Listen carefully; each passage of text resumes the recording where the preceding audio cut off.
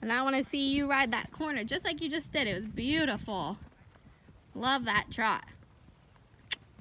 Don't let him get slower because that helps you. Look around your turn. Eyes, leg, rein. Good job. And then think about your next corner. I want to see you cut it even a little bit more.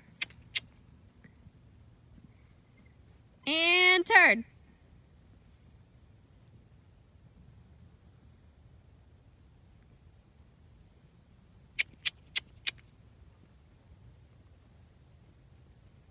Wow, good Look around your corner. Eyes over here, eyes over here, eyes over here. You don't run into that fence. Good job. Check your diagonal.